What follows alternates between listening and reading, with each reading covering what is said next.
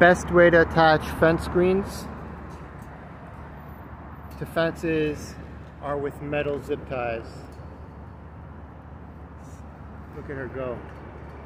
Amazing work.